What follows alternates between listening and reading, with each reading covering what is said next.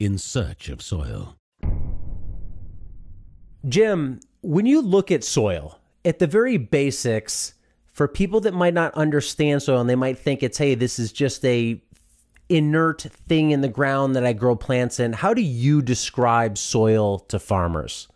Um, I would have to say that soil is a living organism. Um, you know, when, when you look at the composition of soil, it's 45% mineral, and it should be about 50% pore space. But the most important part of that soil, what really makes soil uh, what it is, is that other, you know, four to five percent, three to four or five percent. A lot of our soils are now down to two percent organic matter, but the organic matter to me is like the head and the brain and the heart. It controls so many things in a soil.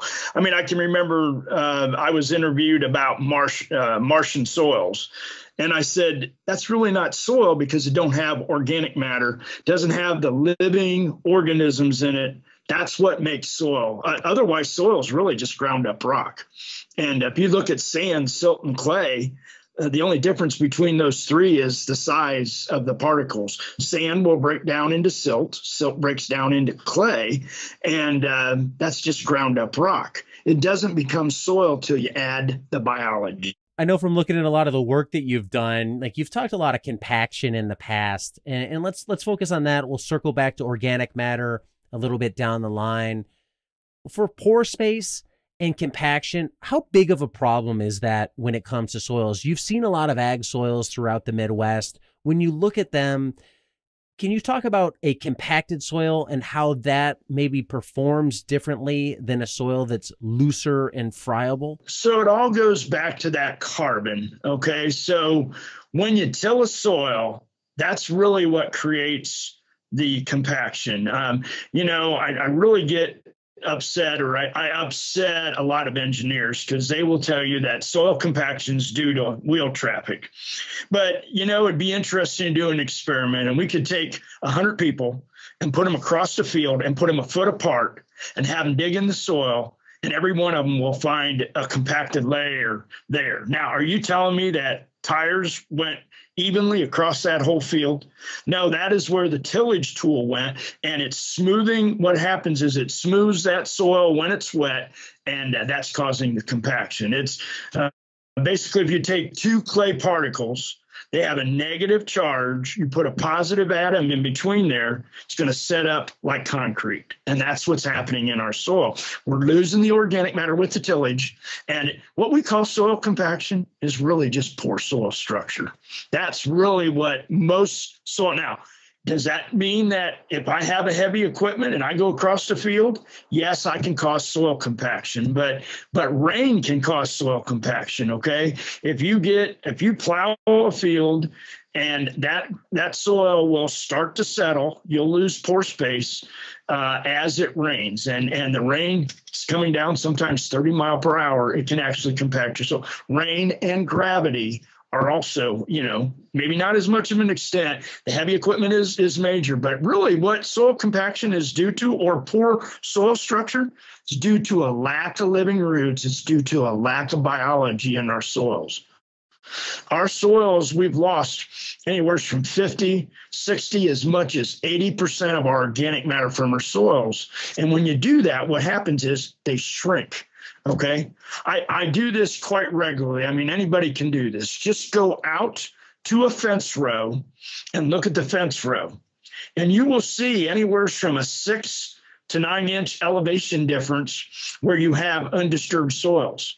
And and the difference between that and say your end row. Now on the end rows, it tends to be a little more compacted, but the difference there is due to the tillage, we've taken all that organic matter, put it up into the atmosphere, and what has happened is our soils have shrunk. Okay.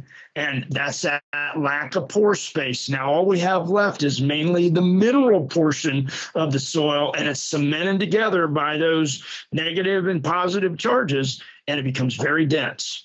The way you can break that up, you can do it with tillage, but unfortunately, you're just making it worse. But a root will do the same thing. It'll push the soil down, it pushes out, and it physically lifts that soil, expands it like an accordion. And then when that root decomposes, now you get the pore space. Okay. And that's how you start to expand your soil is by adding roots. And you start to add that organic matter. And that's what makes good soil is the organic matter. Then we start, instead of forming micro aggregates, those are the real fine, tiny pieces of uh, soil that that's together. Now we're going to start to form what we call macro aggregates. Those are the little pieces of organic matter and roots and clay and silt and sand particles, kind of all glued together with the root exudates and the microbial poop. And that will allow the air and the water and the gas exchange, and that will start to expand our soil. And that's when you see the soil crumble. That's when you know you have good soil structure. Okay and that's that's what we're trying to do. When you look at compaction you have organic matter being depleted and then you also have the actual tilth of the structure of the soil being changed by say tillage.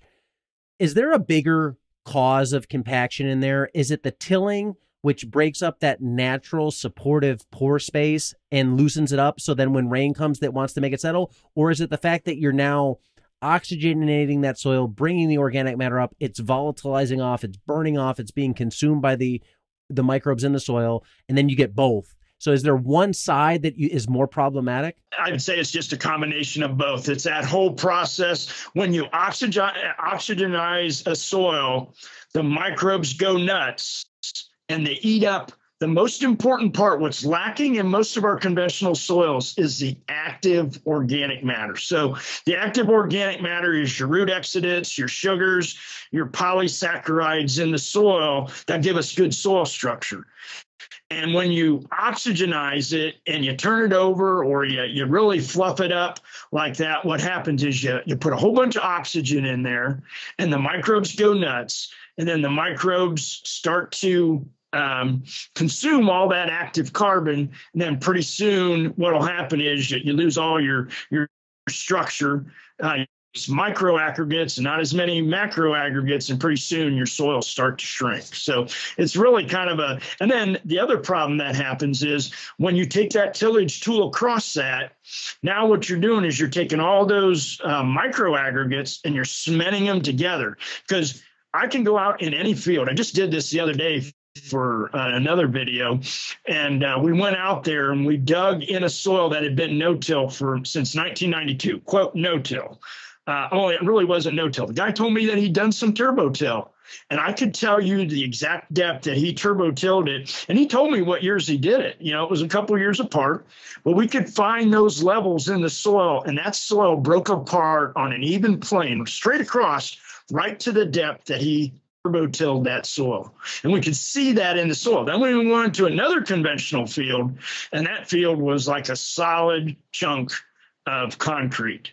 They had done so much tillage that you know the soil was just really hard really dense of course it was dry out and it's always going to look worse when it's dry but but you could get in that that soil and it was just a solid had no no structure to it whatsoever so the more you do, the more oxygen you put in, and then you're going to start getting these levels. I can still find uh, the plow pan from 50, 60 years ago, even though guys haven't plowed for 50, 60 years. We can find that level still in the soil. It's still there if you're doing conventional tillage. Now, if you start doing no-till, cover crops, start growing a lot of wheat and things like that, it's it's a little harder to find because they're breaking that up. The more roots you get in there, it takes a little time, but they'll break those levels up and they can get down there. The biggest thing I can remember, um, uh, a, a quick story is we went to Minnesota, oh, probably 10 years ago most beautiful soil I've ever seen. That the soil was the color of your shirt, okay, just pure black. I said, "Oh, this is such beautiful looking soil." We dug in the soil, and we could find a compacted layer. And their biggest complaint was, I said, well, you guys must get pretty good yields here. Well, it really varies. He said, depends on how much rain we get during the summer. And yet there was a, a, field right next to it. They had a dry summer and the corn didn't look very good. 125, 150 bushel corn. Okay. Should raise 250 easy. Okay. Right next to it was this beautiful no till field and uh, had the same amount of moisture. Well, we went over there, no compaction. The roots were getting real deep. So we dug a, a hole where the conventional soil was. Guess what? they plow their soils every single year, whether it's corn or soybeans, compacted layer there. The roots could not get to the moisture six inches below where the roots were. There was more soil there, but they couldn't reach it because of that compacted area. So Compaction is a major problem. It can last for multiple years. We have seen uh, in, in, research studies where we compacted the soil, it can last easily nine to 10 years if you don't do something to remediate that. The best way to remediate it, it's slower, but is to use roots. Roots is what's going to heal our soils, but that can take two to three years to break up those compacted layers. So, from a, a single tillage, you could see that plow pan last nine to 10 years? Wow. Uh, uh, single tillage, but in our research studies, what we did is we took zero, 10 and 20 ton loads. That's this was started way back in the 70s. And so they used the same methodology. We had no-till fields, and then we had uh, conventional fields. I can tell you the conventional fields had poor soil structure and more compaction than the no-till fields. And what I'd really like to do now is do no-till with a cover crop. But you know, these these were set up 50 years ago. They're not going to change them very quickly. These are ongoing long-term research studies that is being done by Ohio State. Okay, but all I'm telling you is that it's a combination of tillage. The wheel compaction is a big issue, especially on some of our big farms now. I mean, we have uh, grain carts that can hold two semi loads worth of grain. Why you would want to put that much grain on that many axle loads going across your field makes no sense to me whatsoever. But on really big fields, yes, we're going to get wheel traffic. But a lot of poor soil structure is due to excess tillage. The tillage is causing that when you go down and you dig in the soil and you go down two inches, I can tell you that probably some light uh, some type of tillage, vertical tillage, anywhere from two to four inches, they'll go down, and that you can find those layers in the soil. Uh, you can find where the tip of that tillage tool went because there's almost like a perfect break in the soil, especially when it's dry right now. You might not see it as much when it's wet, but when it's dry right now, you can dig in the soil. You can see exactly where you tilled um, either last year or the last couple years. It, it'll break perfectly on an even plane across that whole field and I can dig almost anywhere in that field and I can I can find that same level. So again, tillage is a major major part of the problem that we're having with poor soil structure, what we call soil compaction. Yeah, you know, one of the big principles of soil conservation is minimize soil disturbance. So when it comes to no-till right. or quote no-till, yes. are there Yes. Are there degrees of tillage that you think are more harmful sure. than others? Like you, there's a lot of proponents of vertical tillage yes. of, you know, at least maybe in the conversion process of going from conventional to no-till, and then you have, yeah. you know, going back to a moldboard plow, which is going to do complete inversion. Mm-hmm. To on, on, a smaller scale, we right. see a lot of people using tillers, which are doing, you know, inversion. Right. How do how do you view tillage right. on a on a curve of severe to extreme, uh, and are they going to lead to the same types of results? All yes. All tillage is going to be harmful, but if I was to start with the one that I would give you the the the best results would probably be your strip till because what you can do is you can take maybe a couple inch zone that you're going to till that will dry that soil out. Every time you do tillage, you dry the soil out a half inch to an inch. Okay. And that's a zone where that you can get good seed to soil contact. You can get your corn, your beans, or whatever you're trying to grow.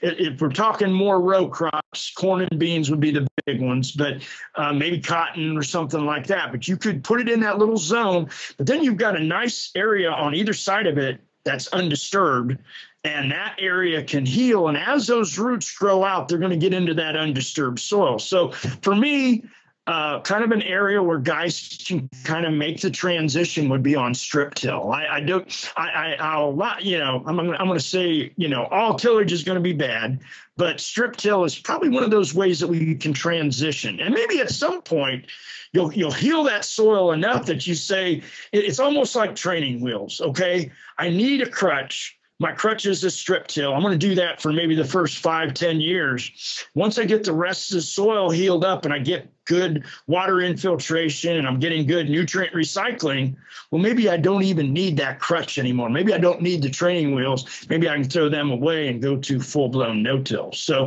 I think that would be the optimal go is uh, deal is to go to full blown no till. But no-till by itself is only about 40% of the solution. You got to have the live roots in there, the extra roots from the cover crops.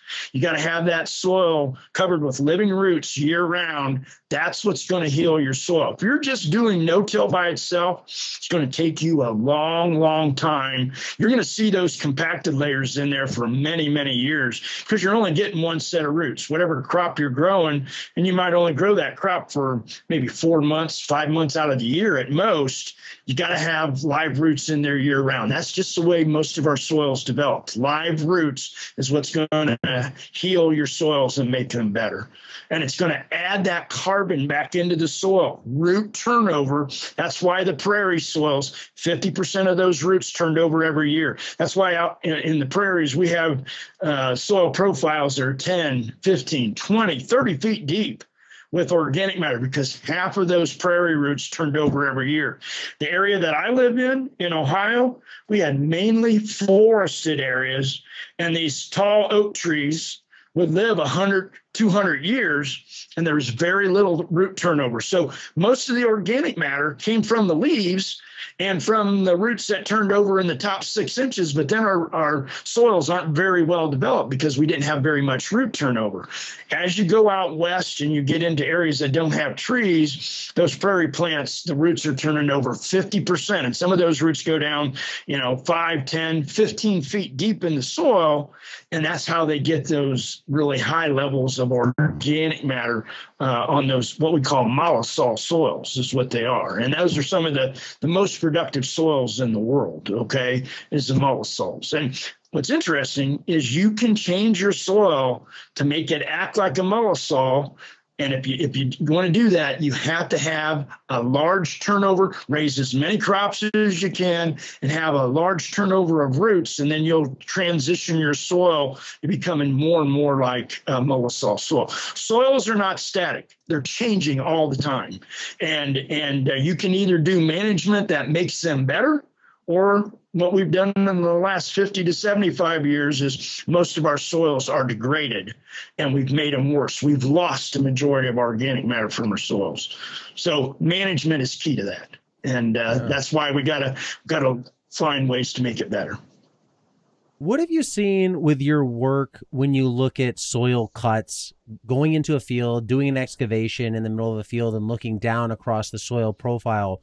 If if cover crops can go in and help break up these compaction layers, why can't some of our mm-hmm. cash crops like corn break through those layers?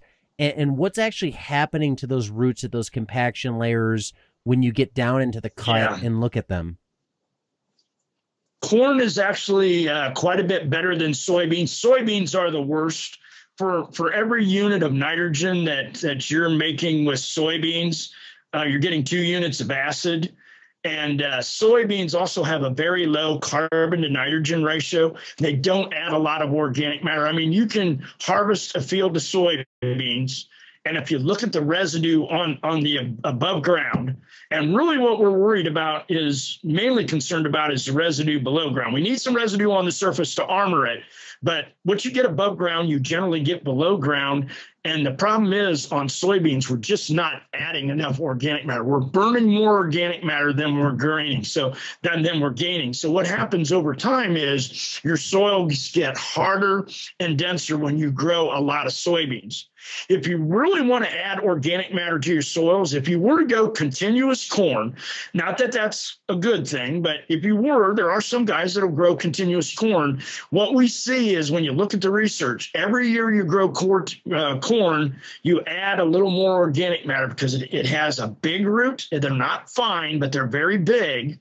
And that's part of the problem. Those big roots can't break up the soil as well as the fine roots. So you'll get more organic matter with corn than you will with with um, soybeans, and you can actually build your uh, organic matter levels with corn. So if you have corn in the rotation more often, uh, you'll you'll see it. Now, maybe that's not good from a, a, a, rotational aspect but the way we can make up for that is if i'm going to grow soybeans well then i need to put in another crop after the soybeans as something like cereal rye or winter oats or annual ryegrass something like that that will add the roots and we can get more root turnover. And if I could add, you know, maybe several things in a mixture, I want some shallow roots, I want some deep roots, uh, I want some uh, thick roots and thin roots. You want all different kinds of roots. The more diversity you get out there, the quicker you're going to be able to break up that uh, compaction.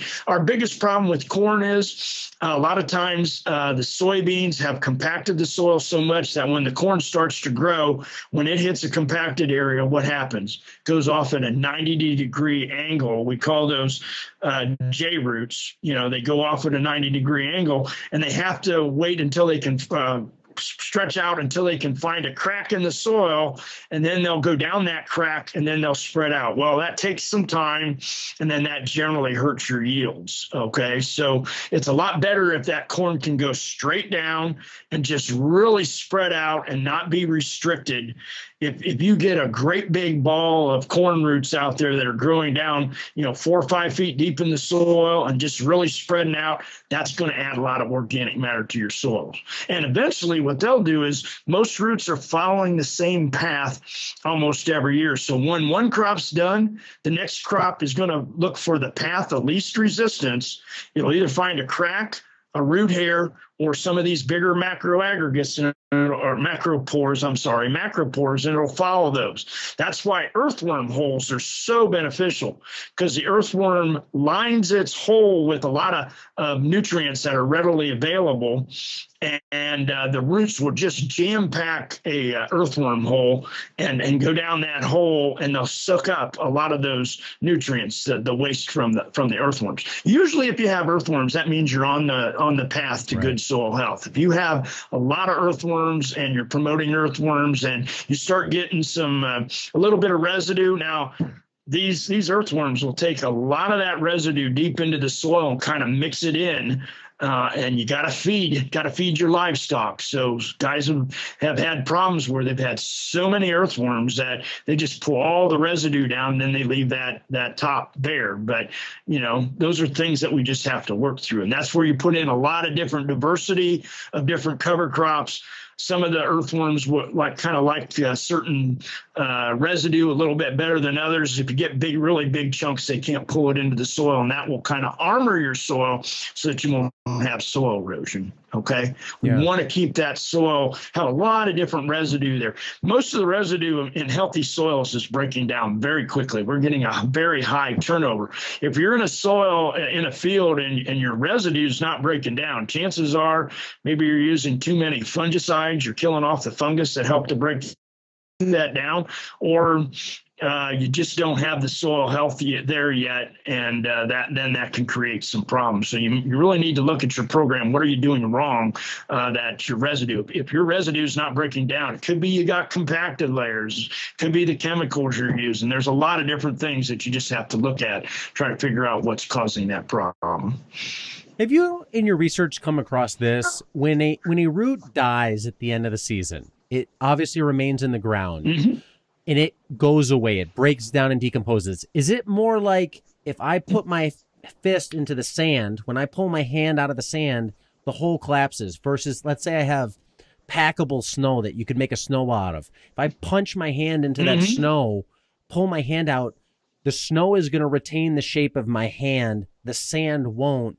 When those mm-hmm. roots break down, are they leaving an open cavity there in their place, or do you find that when the roots die off, there is some kind of collapse there, all the, but it's not sealing itself shut? That's a good question. Um, I really haven't thought about that too much, but my suspicion would be that uh, as the microbes start to break down these roots, they're going to leave a lot of their waste behind. You know, they're going to process it, and it's a slow process. I mean, you might have some big chunks, you might have some little chunks. It's going to decompose at different rates, uh, and and so you're going to get some big chunks, little chunks, but you're going to have a lot of microbial waste, and those are kind of the glues and the sugars that are in the soil that causes soil to be sticky okay and and gives it its what what's happening in a macro aggregate is you're taking all the micro aggregates the root goes down and as the root penetrates into the soil it's lining up all these real small soil particles and it's actually compacting the soil. People didn't realize this but but roots actually actually compact the soil, but they do it with a purpose. So what they're doing is they're lining up these uh, uh, particles of soil, and then they're enveloping them with uh, some of the, the root exudates, and uh, they're uh, forming what we call macro aggregates, and then the microbial waste. And then pretty soon what you get is this little ped that will crumble, and that's what we call good soil structure. When you can go into soil and you look at it, those macro aggregates, the soil just crumbles on it, on you. Those are macro aggregates. When you go into a soil that's been heavily tilled and it's just one solid mass, that's really just a bunch of very, very small micro aggregates that are all cemented together like bricks in a house. Those are your micro aggregates, the bricks would be. They're all cemented together and it's just one big chunk that's so dense that the roots can't get through it. So there's a lot of things going on uh, throughout your soil. Everything is a micro environment.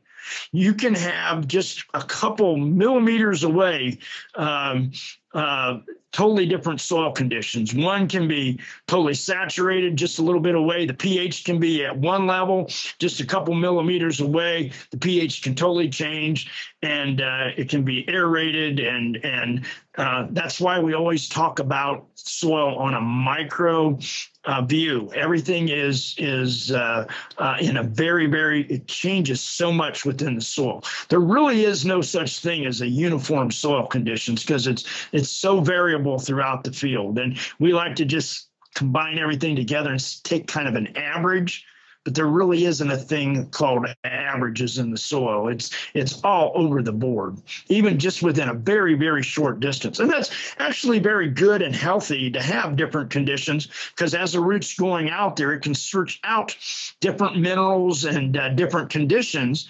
And uh, it makes the nutrients available. What's happening in most of our soils is our soils are becoming too compacted. We're getting away from that balance and and what's happening is we're getting oversaturated soils our, or soils that are just totally compacted and then then uh, we, we don't have that balance and uh, we've gone too far one way or the other then your plants become sick and they just don't grow as well. So, uh, because they have um, nutrient deficiencies.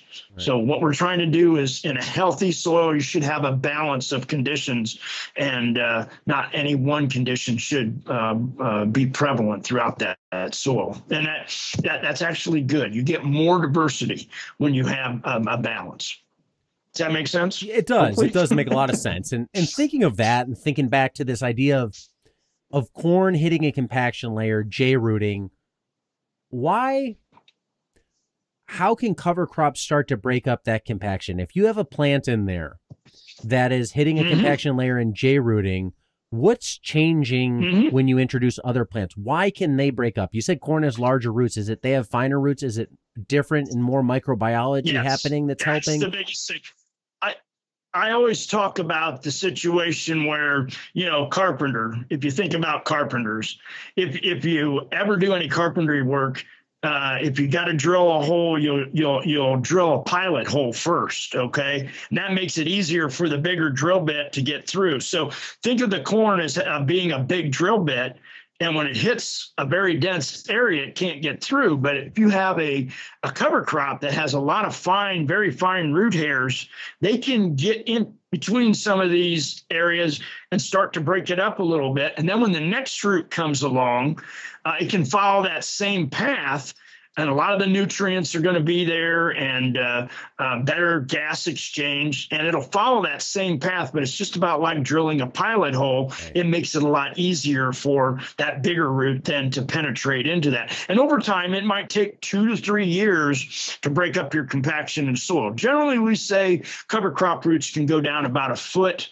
uh, each year, but there's always going to be areas in a soil that are really, really compacted, and it may only, it might be more, uh, uh, it might be better to think instead of of how many feet that they go down or inches, it might be better to think of it in percent. Maybe the first year they take out 10 or 20 percent of the compaction. The next year they take out another 20 to 30 percent of the compaction, and then by the maybe the third year now we're up to 70 80% of the, the total soil is is less compacted and the roots can get through there. And then after you know four five six seven years that soil just literally crumbles and you can't find any compacted layers whatsoever. So it takes time. It's probably better to think of soil structure and soil compaction in percentages how much compaction we can take out versus in depth. Because most of the time the compaction, uh, the poor soil structure is at certain levels in the soil, and we're trying to get through that. And maybe the first year we only take out 10% or 20%. It's hard to say. I've not done any studies on this, but just visualizing it and thinking about it as you add more roots, the next year you're going to start to spread out and you're going to start to break up more of that soil. And by the third, fourth, fifth year, you're just every year you're making that soil a little bit better place and a little bit easier to get through. And pretty soon that soil starts to crumble. It smells better. You got more biological life. And uh, then it's going to start to perform. Most of our problems in no till start with soil compaction. Until you get your soil to be healthy, uh, uh, you got to get rid of the compaction. You've got to get good soil structure. And until that happens, you're going to struggle to make no till corn, soybeans, whatever crop you're trying to raise. You're going to have a hard time making that successful till you get better soil structure. And so, that may take a couple years one, two, three, right. four, five. It just depends on how bad it is. So, do you typically see a, a yield drop where somebody's producing at a high level pre no till? And then they go and start to transition no-till. Maybe yield drops, their soil structure improves, and then it it starts getting back up there and creeping mm-hmm. back up. Yes, yes. Yeah. Um, and there's a couple reasons for that. A lot of it has to do with nitrogen. Okay. So when you have poor soil structure, and I always like to think of, uh, let, us think of any natural disaster. Okay. And, and really, tillage is a, a natural disaster. Okay. So the one I always think about, and I'm a little older than most people, I, you know, maybe Katrina. A lot of people can remember the big uh, hurricane that happened down in New Orleans. Let me ask you a question what was the worst day? Was it the worst day for the people that were down there, the actual day that the hurricane hit? Well, most people found shelter.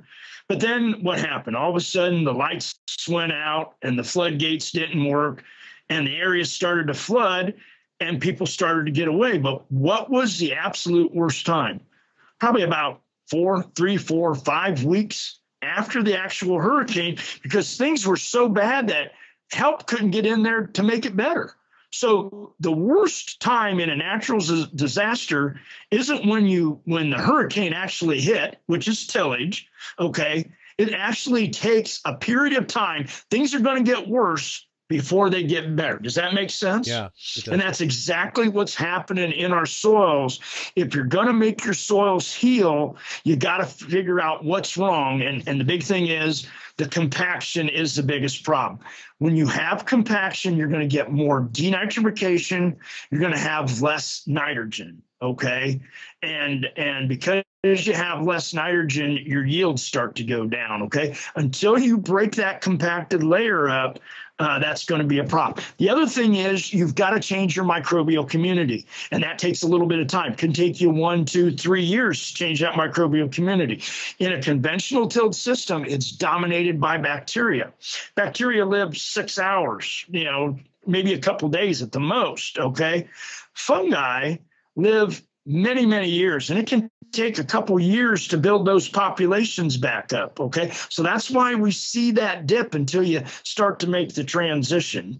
And then the other thing is you got to get the air uh, you got to get the pore space back in there so that you can get the carbon and all the nutrients to recycle, and you got to get the right biology. So there's a lot going on with no-till. That's why we typically see that two to three, sometimes up to a five to seven year dip. Now, the best way to make that go quicker is to add cover crops, go with a multi species cover crop the first year, or even better yet, put it into a hay crop where you already have the biology and you've already kind of broken that soil up, it's a lot easier to go into no-till, say into a perennial crop like hay or a pasture or CRP, Conservation Reserve Program, you can make that transition a lot quicker. The hardest place, and this is what 90, 95% of the people do, is they try to do it on a corn soybean rotation. Just adding wheat one year and after the wheat, putting in a multi species cover crop will greatly increase your chances for success for no till the next year. Okay. You, you got to heal the soil and we got to find ways to heal it it quicker. And any any way that you can add more carbon back into that soil and get those root exudates and that microbial poop and that all that active carbon uh, in the soil to to heal the soil, uh, that's going to make your soils uh, perform better. But it can take you know one, two, three years. Sometimes, if you're really going slow and you're doing corn after soybeans and you didn't get rid of the compaction, it can take seven to nine years to make that transition. I just told you a whole lot of things you can do to speed this thing up. Manure is just really, really great. Uh, we're mimicking the, the the bison, the buffalo. So adding some manure and getting more roots and, and healthier plants out there can really restore a soil fairly quickly. Uh, you'll get twice as many roots, twice as much biomass uh, if you uh, fertilize your cover crops with with some manure, and uh, so it can just really help to speed up the process a little bit. How do you? Does that make sense? It Hopefully. makes a lot of sense. And if you think about manure on a smaller scale, people add compost. How do you view building soil yeah. from the top down versus the bottom up? The bottom up approach is we're going to put a bunch of roots in there get the carbon pump going, mm-hmm. feed the biology. The top down approach is right. we're going to either bring in grazing animals, we're going to apply manure, we're going to apply compost. How do you view those 2 mm-hmm. as how they build organic matter? Complementary. yeah. Absolutely complementary. Um, uh, if you can add grazing animals, that's the optimal uh, because now you've got the urine, you got the feces, um, you're you're physically, you know, you're maybe doing some disturbance on the top, but you're getting a lot of root turnover every time that cow uh, or sheep goes down to graze. Uh, what happens is uh, the you've got more root growth than you do top growth, so those roots have, you know, those roots are going to die back until they can support that plant. Now, that's why you don't want to overgraze it. If you overgraze it, well, then it can take a long, long period of time. But if you just keep nibbling on the top, and and you know, it used to be take 50%, leave 50%. Now they're saying take maybe a third, leave two thirds is, is more common. Um, but if you do that, what happens is you're going to get root turnover. It's going to die back just a little bit. And then as it regrows, it's going to put out new roots. Well, all those roots that died is adding carbon to your soil. And that's how you can build up your soil very, very quickly by doing the grazing. You're, you're complementing what's going on below ground with what's going on above ground. Uh, other things, compost is very good. Right now, there's char, are all things that have a lot of carbon in it. Uh, worm castings are very, very high in nutrients and uh, are are extremely good at uh, loosening the soil and and really promoting uh, uh plant growth. So any any way that you can improve plant growth, uh, again, what you get above ground on average is what you get below ground. Yeah. And so letting that plant and not overgrazing it, letting it grow out and getting a little more height, and then cutting it back and then letting it grow again and cutting it back a little bit uh, will will get you more root turnover. Uh, where where we have a problem, it's it's interesting. Just go to a golf course, you know, and and on those fast screens, what do they do? they cut that grass right down almost. I mean, there's hardly anything sticking out above ground. Well, if you dig in that, you'll find that it's really, really hard. That ground is hard because there's hardly any roots there. Now, you let that grass grow out, say an inch, and you go look below the ground soil, and you're going to find that there's a lot more roots. If you let that grass grow out two, three, four inches, well, all of a sudden now you're going to have a lot better root structure or soil structure and a lot more roots there simply because you're letting it grow. You're putting in more carbon. You're, and when you graze it or you mow it, uh, we can simulate grazing by doing that by mowing. You can you can uh, change the way your soil is going to perform just by the the height and how often and the frequency that you mow. We're very closely mimicking what the cows and the sheep and the deer and the elk and the buffalo did. Yeah. Okay. And uh, we can simulate that. Yeah. And in a system like that, or we're adding manure, we're adding compost, but we're not tilling. How mm-hmm. do you see that organic matter getting right. introduced into the soil profile? Is the soil profile just raising up like that layer now becomes the new soil surface as the the soil merges uh, up into you it. Let the you let the critters do the tillage. Just yeah. let the critters do the tillage in a healthy soil. Okay, you can go out there and there'll be black ground beetles and ants and uh, all kinds of biological life, sow bugs and pill bugs, whatever you want to call them, earthworms. You know, you got a many different types of earthworms. Uh, even the voles and groundhogs, although, you know, we don't typically want groundhogs out there. We want to try to keep the voles down. This is a year where here in the Midwest, the voles are starting to increase. Okay. But all that wildlife, all the, the biological life in the soil, they will mix the soil. An earthworm will turn over, um, what they say, it's, it's something like every 10 years, they'll turn over the top six inches.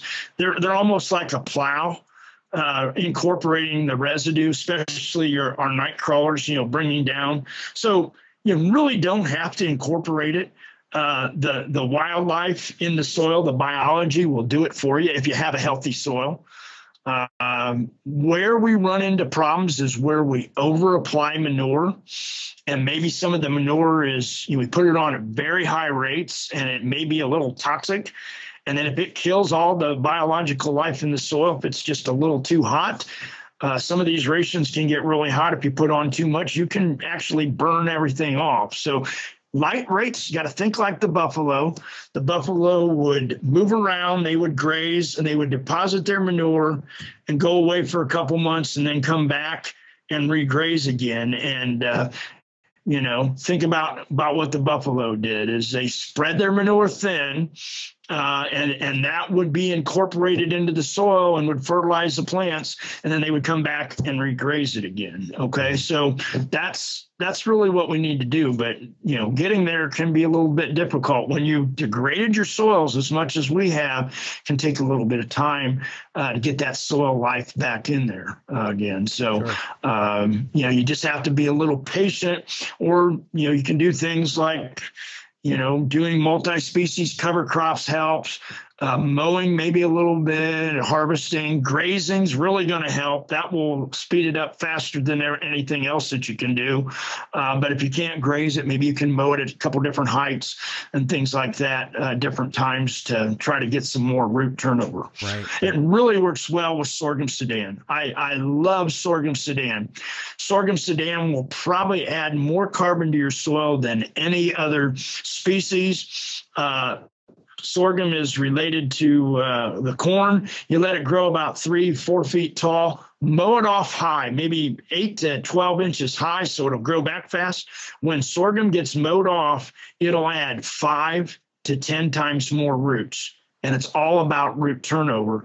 You can add a tremendous amount of carbon to your soils by growing some of these cover crops. And, you know, if you can graze it, I don't care if you want to graze it or bale it off and feed it to cattle or sheep or whatever you have, that's fine because I'm after what's going on below the ground. I would just say this at the end of the year, just make sure you leave a little bit of residue there so that we don't have soil erosion. Don't take it all.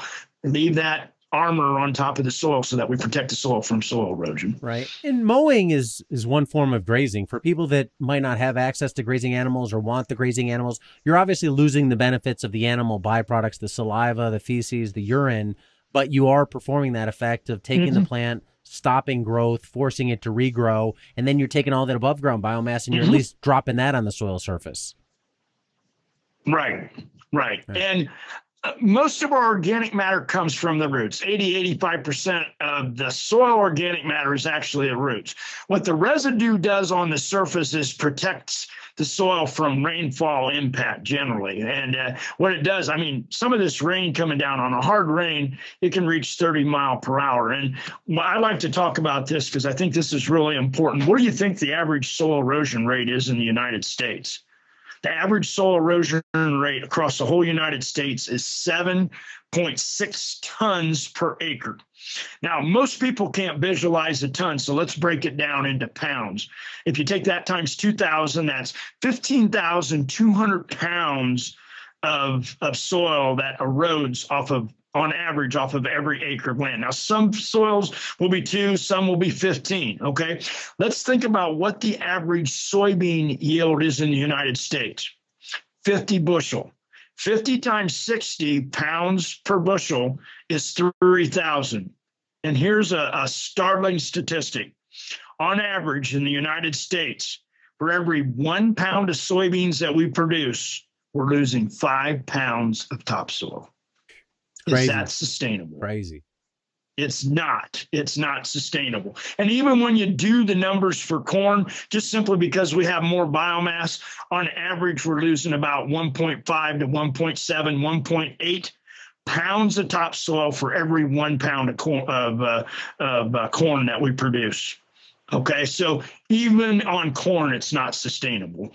Uh, we need to get that down. Uh, the average soil is only going to add uh, about a thousand pounds of topsoil. And everybody will say, well, how do you add topsoil? Well, think about what soil is made of. It's made out of rocks, right? Ground up rocks. So on average, the, the rocks in the soil will decompose or break down into sand, silt, and clay at about a thousand pounds. That's just an average number, about a thousand pounds a year. That's that's a half a ton so if we want to be sustainable, if we want to talk, you know, this idea that we can lose uh, four to five ton uh, an acre and be sustainable. Uh, NRCS came up with that years ago. Well, that's nowhere close. We need to be losing less than a thousand pounds of topsoil. That's less than a half a ton per acre in order to be sustainable. And and I often ask this question: Is it should we try to get soil erosion down to zero?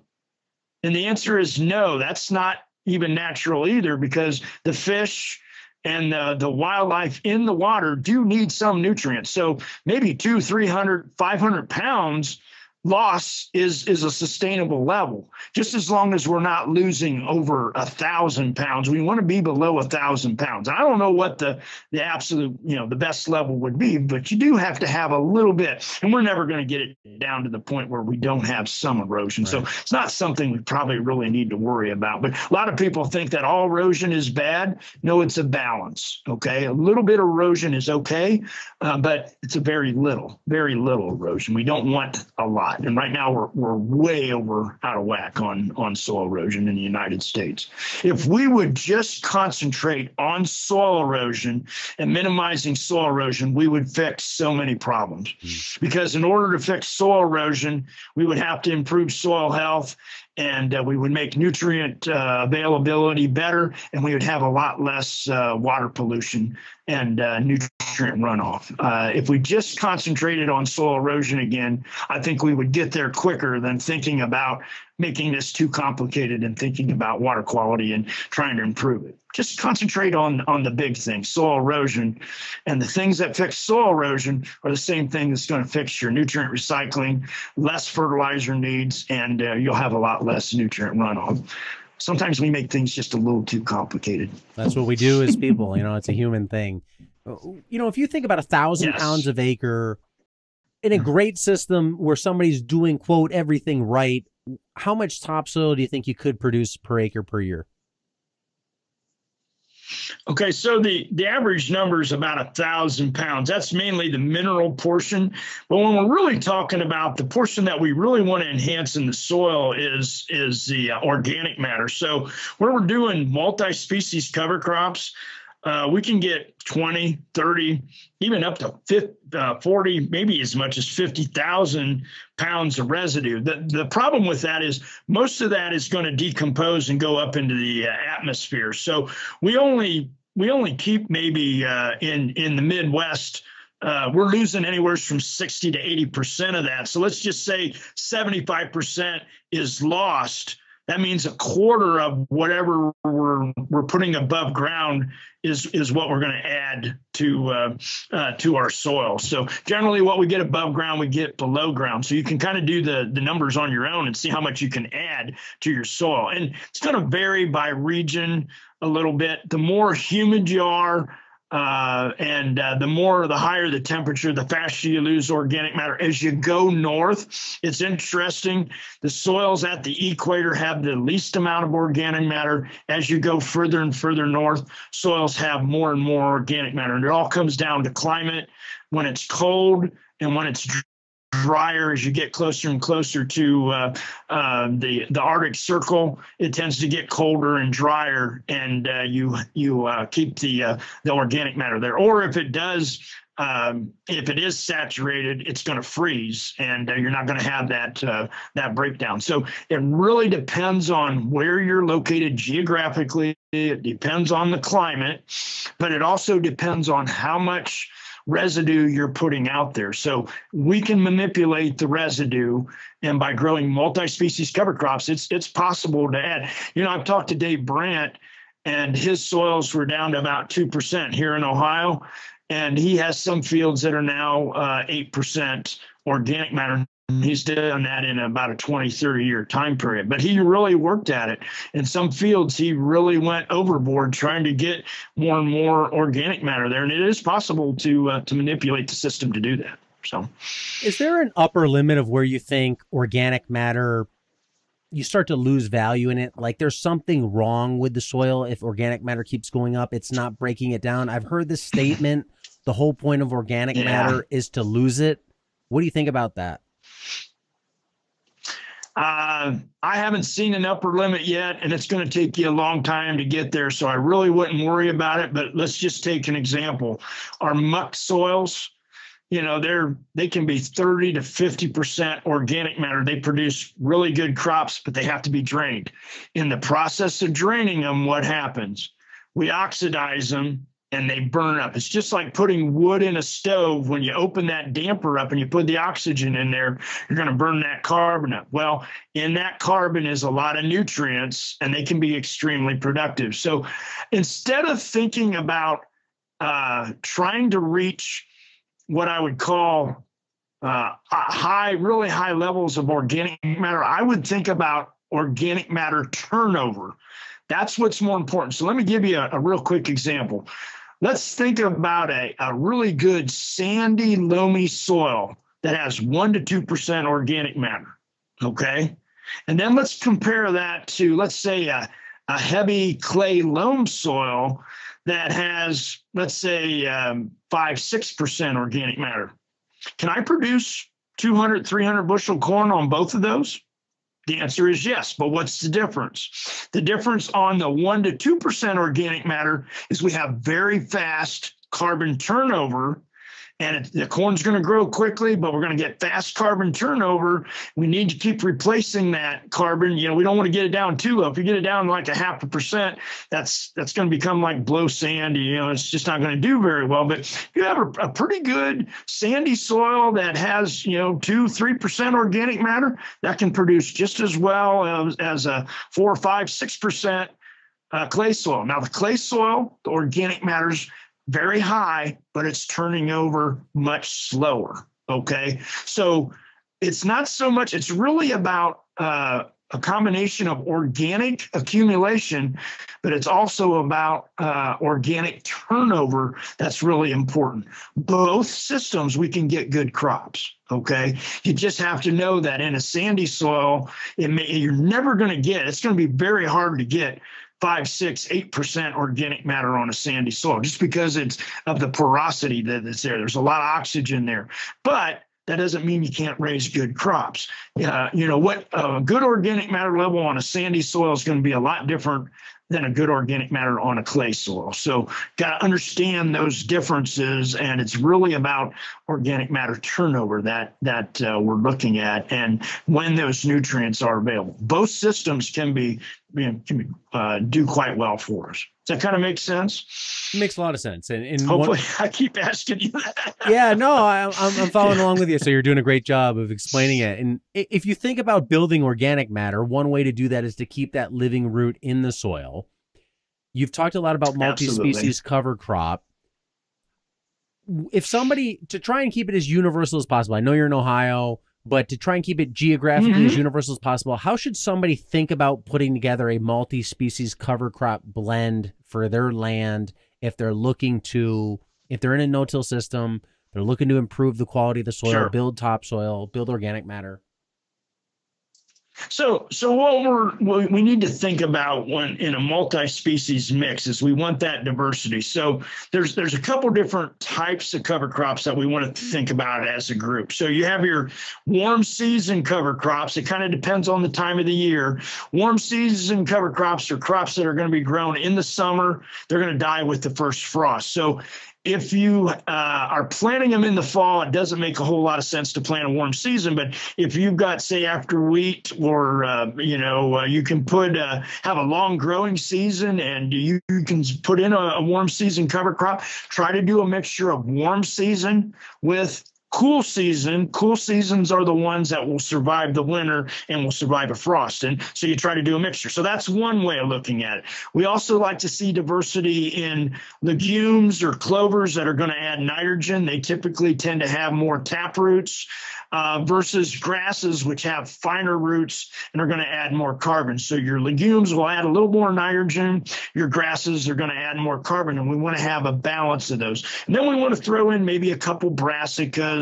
Uh, and these can be warm and cool season, just depending on your growing season. And then there might be some what we call other ones, you know, things like buckwheat and sunflower. They can make really great pollinators to help us with soil health. And so you try to get a diversity uh, of different plants. You know, some people have experimented up up to you know 15 or 20 different species. I would maybe when you're starting, it can be a little more, more difficult. You might start off with you know say three to five, and then if you're comfortable with that, try to go to seven to eight to ten, and then you know you can go wherever you want. But just remember seed cost does become an issue as you add more and more species. Some of these cost a lot more. Uh, try to put in some of the species that are both small seeded because they tend to be quite a bit cheaper. And um, uh, if you put those in, you only need maybe a quarter to half a pound, and they might only be just a couple bucks versus putting something that's really expensive. You know, if you're getting up five, seven, ten dollars a pound, why it can get pretty expensive. I've seen cover crop mixes cost as little as, you know, 10 to $12 to as much as $100 an acre and it's a lot harder to make that hundred dollars an acre pay for itself. So, so there, there's a happy mix. Usually, twenty to twenty-five dollars an acre is what I try to stick with. Most people will go that if I can go a little bit cheaper in tough times, maybe go just a little cheaper and put in something that doesn't cost quite as much. And uh, uh, anything that has a live root is going to help you uh, generally. Um, now, you don't want to have weeds. The only reason I say that is uh, if they go to seed, why then then you're going to be fighting your weeds. So try to find something that's a little easier to kill and maybe a little cheaper, and can give you most of the benefits, give you the most benefits possible. What if somebody was just fighting compaction and they weren't beholden to any sort of crop rotation? Like mm-hmm. they, in a perfect world, they could take a few years off and just solve their compaction issues. Mm-hmm. Is there a species mix that you'd look at for really taking on compaction? Probably the best uh, ones are some of the grasses really do a good job. Sorghum Sudan is one of the best uh, compaction. Uh, annual ryegrass, um, cereal rye does pretty good, and so does oats, and, and, kind of in that about that order. Those would be the ones on the grasses. On the brassicas, uh, there's nothing probably better than the tillage radish or the you know the the daikon radish. I just said tillage is a, a species is a particular variety, whereas daikon is is a species. So we're looking for the white radish, the daikon radish, and there's several different um, different variety. You know, guys are selling different ones out there. Different companies have uh, different uh, uh, different uh, varieties of that. So uh, the daikon is really good. A sunflower is really deep rooted. That can be a good one. Buckwheat is really shallow rooted. So if you have shallow compaction, go with buckwheat and Phacelia. If you have really deep compaction and you're trying to break it up, go with something like alfalfa and uh, uh, your sunflower are all very deep rooted. So it kind of really depends on what your situation is. And, and even better is if you can graze it or utilize that as a forage, well, then that helps to, to pay for that cover crop. You know, with something like a sorghum Sudan grass, it can grow to be huge and 10 feet tall in the right yes. climate. Yeah. How, how, what do you mm-hmm. get? You probably hear this all the time of reconciling the nutrient use versus the benefit. Oh, that big plant, it's going to take all that biomass, it's got to produce it. It's going to take all the nutrients out of the soil to make that biomass. Am I not creating this mm-hmm. problem mm-hmm. where now I'm going to have to over amend to to put all that stuff back? Uh, it, it depends on what you're doing with it. If you're not harvesting it all you're doing is bringing nutrients to the soil surface, and then the biology will pull it deeper back into the soil and recycle it. Okay. Now, if you're harvesting it, and you're going to take it off, well, hopefully, if you're going to take it off, then you've got the manure as a byproduct that you can put it back. Now, if you go to sell it, that's where you've got a problem. Um, then, then you can. But in some places, that can actually be a strategy. So we have areas that have extremely high phosphorus, excess nutrients, water quality issues. We can use sorghum Sudan as a crop that we can harvest multiple times, maybe three, four cuttings a year and take that almost off like alfalfa hay, feed it to cattle, but we're going to ship it maybe 100, 200 miles away, away from a, uh, a water, you know, an area where we have water quality, and we can actually start to lower the nutrients in the soil. So you got to use it to your advantage, is what I'm saying. And sure. uh, if you're, as long as you're keeping that on the soil and you're putting the manure back, it's not really a big issue. We're kind of mimicking those buffalo. Uh, and uh, the buffalo and the bison there, they, they had a real nice cycle going on, and uh, the crops grew really well. And, and uh, we, we just kept improving the soil every year. Carbon is our limiting element in the soil. So that's the one we need to give. So I can tell you a real quick story about carbon. So let's say um, um, you're trying to grow 200 bushel corn how much carbon do you need on a daily basis to grow 200 bushel corn? Have you ever thought about that? You need about 100 pounds. Where does that carbon come from? Well, most most of us have been taught it comes from the atmosphere, but if it would all come just from the atmosphere and no place else, you would need an area of about 32 to 33 cubic acres of air to get 100 pounds of carbon out of the atmosphere. So when we start to think about this, where is the carbon coming from? It's actually coming from the roots. Okay, the, the concentration in the atmosphere is around 400 to 410 parts per million. The concentration of carbon in the root zone is about 3,000 to 10,000 parts per million. So let's think about this just a little bit. Okay, so um, what do leaves take in? They're taking in carbon dioxide and they're giving off oxygen, right? What do the roots take in? Roots take in oxygen and they're giving off carbon dioxide. And it even gets a little bit better. As we get the, the lower night temperatures, we can raise that carbon concentration in that soil up from about three to 10,000 up to maybe 20, 30, 40,000 parts per million at daybreak. And then let's think about photosynthesis. How effective are we on photosynthesis? Do you realize that within about the first one, two hours at the most, we've used up all of our carbon dioxide reserves in that soil within just a just a very short period of time. We're only about 10 to 20% efficient at photosynthesis. And it's all due to a lack of carbon dioxide in the soil. We used to have 60 uh, you know, six to eight percent organic matter. We've lost 60 to 80 percent of our carbon from our soils. We're now down to on average probably two, two and a half, three percent uh, organic matter. And, and just think about this. Have you ever seen uh, a farmer, you know, plow a fence row or or plow a um, a pasture? What happens to that corn? You can see right to the row where that organic matter is because of the higher organic matter. That corn will be two, three feet taller and have much bigger ears. Okay. It's all due to the amount of carbon, the nitrogen, and the phosphorus and the biological life that's in that soil that's healthy. And so, if we can get back to that, what I tell everybody rather than bringing our fence rows down to the level of our cultivated fields, we need to take our cultivated fields and through no till and cover crops, and by improving soil health, bring it up to what the level of the uh, is in that uh, that fence row. That's the goal that we're trying to do. We're trying to get our soils from being degraded, getting them back to being healthy again.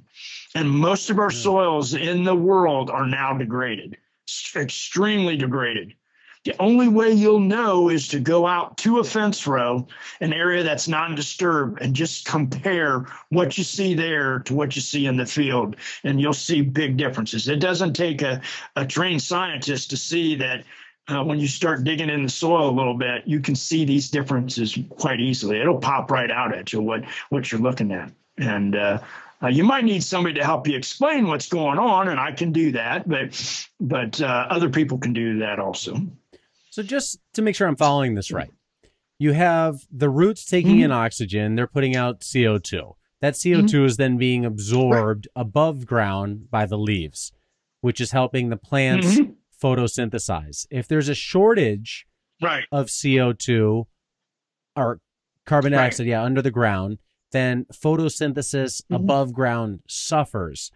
How do you get more mm-hmm. carbon dioxide production underground if that's root dependent? The roots need more oxygen. So so what's happening underground to mm-hmm. get the roots more oxygen so they can off gas the CO2? Well, uh, actually, the roots will uncompact your soil and create uh, porosity to allow that. Roots actually like, like act like a biological valve to let oxygen into the soil. It's only when we do tillage and we create these compacted zones that we get really hard soils. There is a really good uh, soil to gas uh, water exchange in the soil. Okay, when you have good soil structure, but when you when you take that carbon out of the soil and you put it up in the atmosphere, you got to realize we have a tremendous amount of carbon in the atmosphere because it, it can go up. You know, I think our atmosphere goes up almost 100 miles. So what we can do is we're we're pulling that carbon back down that's up in the atmosphere, and we're going to lower it back down. You know, if you go uh, um, back in time, the carbon dioxide level was both much higher and much lower. But, you know, probably pre industrial period, you know, before the 1800s, we were down around 250 uh, parts per million on on uh, carbon. So we have a tremendous ability through cover crops and even forested areas and things like that. We can pull a lot of carbon out of the atmosphere and we can put it back into ground. The, the soil is the best area for storage. What what's our biggest storage area for carbon right now? So I, I kind of should probably finish my story. So we're talking about this carbon, and let's let's think about this. Where are the stomata on a corn leaf? Have you ever looked at that? They're underneath the leaves. So in the spring, you know, let's say we plant this crop, but let's say before we plant it, we till it. What happens when we till it? All that carbon dioxide, let's say we till it in the fall and then we till it again in the spring. What happens when we do all the tillage? What happens to all that carbon dioxide? Goes way up into the atmosphere. The trade winds take it. And where does it end up? What's the biggest uh, sink for carbon in the world? The ocean. Okay. A lot of the carbon ends up in the ocean. Now let's think about this. When you're breaking up that carbon in the soil, what are you doing? You're releasing nitrogen, you're releasing phosphorus. And what happens when it rains? The nitrogen and the phosphorus wash off, get into our rivers and streams, and where does that end up? Ends up in the ocean. We have a broken carbon, nitrogen, phosphorus cycle and that's having an impact on the water cycle also. And it all goes back to the way we're farming currently. If you think about the buffalo, what did they do? We had grass growing year round. uh, forbs and everything else, wildflowers, and they're recycling their nutrients. They're eating it, they graze, and every time they, you know, they poof, they defecate, you know, they urinate, they're refertilizing that grass, and we have a complete carbon, nitrogen, phosphorus cycle, and the nutrients didn't get into the uh, into the stream. So it worked out really well. So, okay. so, so it's the organic matter that's being stored under the soil surface that gets broken down yes. by the microbiology into CO2 that floats up in the air. The stomata then are right. absorbing that. So you're bank, you're basically, when you put organic matter right. in there, you're really banking CO2 that you're going to need later. Right, right, right. Okay. Yeah, and in, in thinking about that, I mean, it's a lot to think about, isn't it? it is. It's a complicated yeah. thing. I, and I think I saw in one of your presentations, you you mentioned something along lines of plants produce forty percent more sugars than they actually need to sustain their own plant right. growth, and that's going into the soil to right. feed the biology. Right, and uh, plants are actually figured out it's cheaper for them to feed the microbes and have the microbes feed them than they could by themselves. That's how plants and the microbes kind of evolved together. And uh, what what the the plants figured out is that they were very good at photosynthesis and, and we have a tremendous we're only 15 to 20 percent efficient. So uh, uh, let's think about corn. What is the optimal what's the the i shouldn't say optimal but what's the highest level of corn production that could be possible? The, the scientists have looked at this and said we could produce 1100 bushels of corn per acre. What's our current level? Let's just say we average 200 and a lot of places don't. Maybe it's 150 200 but 200 is an easy number we're only roughly 20% efficient at, at, photosynthesis. In order to get 1100, everything would have to be absolutely perfect. And we'll probably not reach that level on average, but is it possible to reach four, five, six, even 700 bushel? It could be if we were to improve the soil enough and and to uh, get it back to where it was. You'd almost have to go back to maybe having those uh, uh, those virgin type soils. And that's kind of what we're doing with the cover crops and soil health is we're restoring our soils. Very, very uh, easy to think about this. Think about Brazil. Okay. Brazil has what we call oxisol soils. These are worn out soils. They, they have a lot of rainfall, you know, 60 to 80 inches, 120 inches a year. They, they've really flushed out a lot of the nutrients out of their soil. And yet today, when we go to Brazil, what are their soybean yields? Well, they're getting 50, 60, 70, even 80 bushel soybeans off of soils that are worn out. How'd they do that? Well, they took the tropics and they they basically burned up the organic matter in, in the trees. And within about four or five years, their soils would get hard as a rock. Well, then they started growing cover crops and now what they're finding is they're turning those oxisol soils, worn out soils, and they're becoming more and more like mollisols every year because of the root turnover. Okay. They're putting a cover crop then they grow their next crop, and then they grow cover crop. And sometimes they're even interseeding cover crops into their beans. They have now gotten, you know, they were starting out, they were getting 80 bushel corn. Well, now they're going to become one of our biggest competitors on corn. They have now raised their corn yields up to 130, 140, 150, even 160 bushel per acre. They're not that far behind us. And what they've done over the last 30, 40, 50 years is they have transitioned their soils from oxisols into more and more like like a, a mollisol. Now they're not mollisols yet, uh, but if you look at it, they're adding so much organic matter to their soils and their long-term no-till down there and using extensive cover crops. 80, 90% of their soils now have cover crops and no-till. The guys that will do just uh, do conventional tillage, what they find within four to five years, their soil will get just as hard as a rock. Anything that happens in the tropics happens 10 times faster than when it happens in the temperate zones.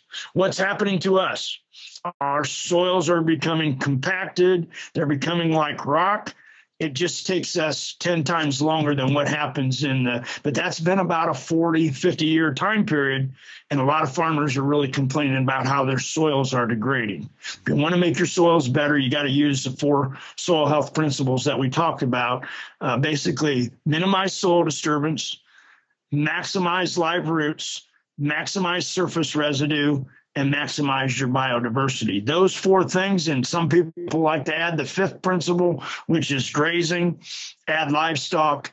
Uh, and if you did those four or five principles, that's the fastest way to improve a soil. Uh, it's it's uh, almost guaranteed to make it better as long as you don't do something in between here to, you know, we can add a lot of chemicals and things like that. We could screw it up, I guess, but but uh, if you just kind of let the system alone, it will heal itself. It's interesting. We have a lot of CRP land, okay, and think about CRP, conservation reserve. So somebody will take their worst field and it's low in soil fertility. It has a lot of compaction. It's eroding. And they'll put it in CRP for 20 years. And I have guys in my area that are looking for that CRP ground. Why is that? Because that soil has healed itself. Now, there's two ways to farm CRP. I'll tell you the, the way that it's typically done. Guys will go in there and they'll start tilling it up and within four or five years they'll ruin it. But for four or five years they'll get tremendous nutrients and tremendous yields and then they'll they'll restore it back to its degraded condition in about four or five maybe six seven eight years okay? Now what's the smart way to handle it? Now that i've healed it go and put cover crops back on there, do it in a no-till system. Maybe start with beans for one or two years just to get a little extra nitrogen in there, but then go with a, a corn, bean, soybean rotation, maintain that fertility, keep it in that almost pristine state and you can get extremely good yields off that. I had guys that are telling me that these fields that were their worst fields are now their best fields because after 15 to 20 years, Mother Nature healed those soils. Yeah. Okay. So that's kind of what we're trying to do with the whole soil health thing is heal our soils, get them from a degraded state into a very productive and um, um, healthy, healthy soil again. That's what we're trying to do. Do you think the next step in the evolution is a companion planting or an interplanting, having your cash crop grown with oh. cover crops? I, see a lot of things that are going on that are very uh, interesting right now. Uh, uh, we can plant, uh, you know, what they do in Brazil. I, I kind of told you half the story, but another way that they do is they plant their corn. And in between the rows, they wait about three to five days, maybe a week, kind of depends on the area. And then they'll plant sun hemp and the sun hemp will grow with the corn, but it'll be behind the corn, and the corn will uh, tassel and set an ear, and then the sun hemp grows above the corn. Now, the sun hemp is a big legume, and it'll have nodules that are as big as your thumb, okay? And it can put on 200 pounds of nitrogen. They don't fertilize their corn in, in Brazil, they just use the companion cropping, the sun hemp, okay? And what they'll do is uh, they'll let the corn dry down. They'll go through with a real high combine and they'll harvest the sun hemp and get that as an oil seed and they can they can uh, use that uh, both for feed and also for another cover crop. But then they'll turn around come back at a later date and harvest their corn and then they'll plant a cover crop uh, until they they uh, uh, plant their next crop, which is either soybeans or maybe they go back to corn again. Kind of depends on the area, but that's kind of a nice system. Okay, we can do the same thing up here, but we have a little bit grow shorter growing season. So what some people are doing is they're interseeding cover crops. Generally, what we're seeing is guys are starting to widen their rows out. I see a lot of twin row corn now starting to be experimented with, where they'll have 60 inch rows and some guys are planting their corn really thick there, but they're getting more sunlight in there. And if they've got a flex ear on that, a variety, they can actually get bigger ears and get the same yield, same amount of corn, and just as good, maybe even better yields. But now they got this wide area there that they can put a cover crop, and that cover crop can grow real well. And some of them are even introducing sheep or or something like that that they'll graze at. I've had some where I've looked at these fields and the corn is so close together it almost looks like uh, jail bars. Okay, the sheep would have to go all the way to the end to get through there unless they're going to knock down the corn. So there's some things like that that are starting to go on that I think are uh, really interesting. That um, you know uh, I think is going to help us with this. This companion cropping we we do some of that. Uh, we uh, let your corn get up, grow with a little bit shorter maturity in corn, and you can fly on or use a high boy and get your cover crops. Kind of that's more of an interseeding type option. Late, say about right now in August and early September, we can put on the cover crop and uh, kind of get one started and always have a live crop out there year round. That would be the absolute goal. So there's a lot of different ways to go with this. Some of them are using, I see some research going on on uh, Kura clover. Guys are actually putting a, a crop down and they'll stunt that clover a little bit and they'll plant their corn into it and that's supplying their nitrogen and then as the temperatures get a little cooler and the corn's drying down sunlight comes out the, the Kura clover grows the best in the spring and in the fall and then uh, uh, the next year they'll go right back to corn uh, they'll let the Kura clover uh, grow through the winter, and then they'll plant another crop. So I think there's a lot of different ways to to slice this and, and try a lot of different things. Sure. So yeah, a lot of innovation out there. And what have you seen in systems right. that have really healthy soil in terms of plant health, pest resistance? Do you notice a correlation between soil mm-hmm. health and plant health? That's something that a lot of people claim. Oh, absolutely. There's mixed feelings. What are your thoughts?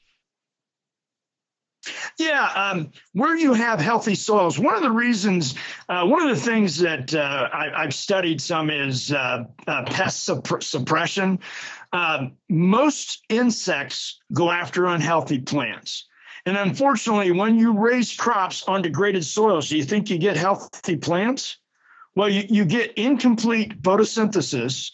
And when you have incomplete photosynthesis, you get a lot of nitrates in your plants and you don't get full protein synthesis. Uh, insects love nitrates. And when they sense that a plant is unhealthy, they'll attack it. And that's why most, a lot of our plants, since they're unhealthy, the insects, we see a lot of insects. But if you have a healthy plant, the insects can sense that, that you have full protein synthesis. You'll have higher protein content. You'll have higher test weights you'll have more dense food and and the insects will leave that alone because they cannot digest the the uh, amino acids and the full proteins in there as well as they can the nitrates so a lot of our our plants even though maybe we're getting pretty good yields uh, the the the nutrient density is a lot lower. The the protein content is lower. We've kind of uh, assume that high yields, uh, all, all, crops are the same and that the yields are all the same. But really, we should be talking yield wise, we should be thinking about total pounds of protein uh, versus uh, just yields. Uh, yield is is one of those things that you know I can have 300 bushel corn, and let's just say it has five five percent. Let's keep the numbers even. Five percent crude protein. Okay. Well, uh, let's compare that to say 200 bushel corn, or let's just make yeah, say 200 bushel corn. What if I had 200 bushel corn? And just to make the, the math easy, it generally it'd be maybe eight nine percent, but let's just say it's 10 percent. Take 20 200 uh, bushel times 10 to 10 percent crude protein, and then take 300 uh, times uh, 5% crude protein. You can see that the 200 bushel corn actually has more protein in it.